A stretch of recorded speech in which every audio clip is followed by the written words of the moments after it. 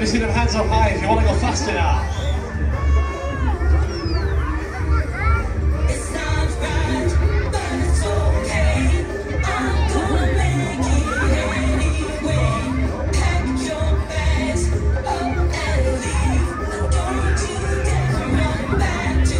Okay, cool. I still need some more riders for the next one. Step this way if you're riding. Cool.